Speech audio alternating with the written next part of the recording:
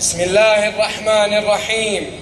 الحمد لله رب العالمين والصلاة والسلام على أشرف الأنبياء والمرسلين محمد وعلى آل بيته الطيبين الطاهرين.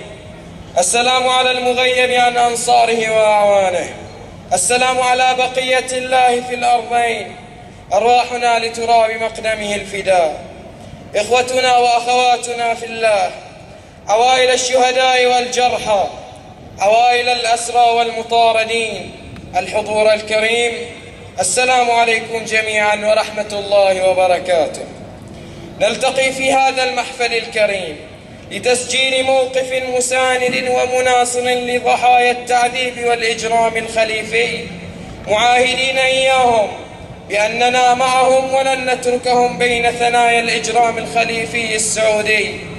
الحضور الكريم إن هؤلاء الأحبة ضحايا التعذيب في طوامير في الطوامير الخليفية قد قاسوا ما قاسوا من صنوف التعذيب الوحشي على يد زمرة لا تنتمي للجنس البشري ولا تمتلك ذرة من الرحمة الإنسانية إذ نال خير علمائنا وشبابنا وأخواتنا ما نالوا تحت أيديهم الموغلة في الدم.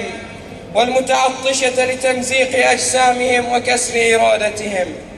لقد أراد الدكتاتور حمد وعصابته المجرمة من خلال اتباع سياسة التعذيب الممنهج والمدروس بدقة عالية والمطعم بالخبرات الغربية الضليعة بممارسة أساليب هتك الكرامة الإنسانية وتعميق الأذية الجسدية أن يحطم توكل المواطن البحراني الثائر بالله تعالى ويمحي من وجدانه حبه لوطنه وشعبه ويقضي على إيمانه بنهج الثورة المسلسل لعروش الظلمة.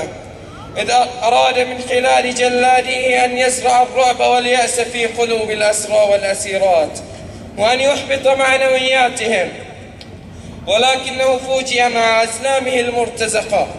بشبان ورجال ونساء وأطفال وشيوخ لا يعرفون للياس طريقا ولا للتراجع منهجا ولا للاستسلام معلما.